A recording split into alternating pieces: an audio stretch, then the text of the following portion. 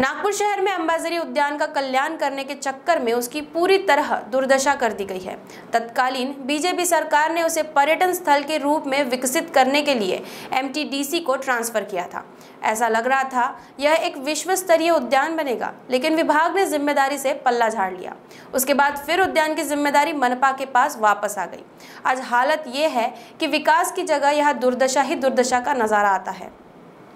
कभी यह उद्यान विदर्भ की शान हुआ करता था।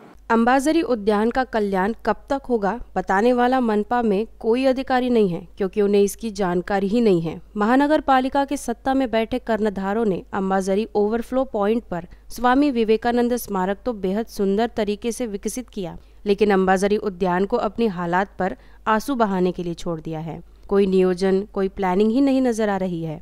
हालत यह है कि बच्चों की फिसल पट्टी टूट कर कबाड़ हो गई है, झूले धराशायी हो गए हैं। जंग लगते कबाड़ यहाँ कीड़ जोन में नज़र आते हैं। कभी यहाँ टॉय ट्रेन भी चलती है।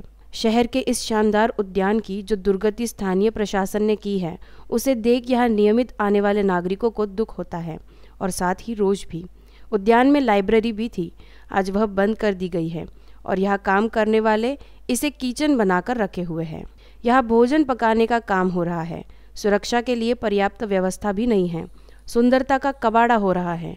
विकास के सपने दिखाकर लोगों को बेवकूफ़ बनाने का काम मनपा के अधिकारियों और पदाधिकारियों ने किया है।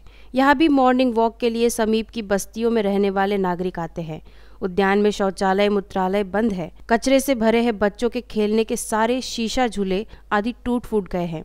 कोई बताने वाला नहीं है कि आखिर कब तक इस उद्यान का कल्याण होगा।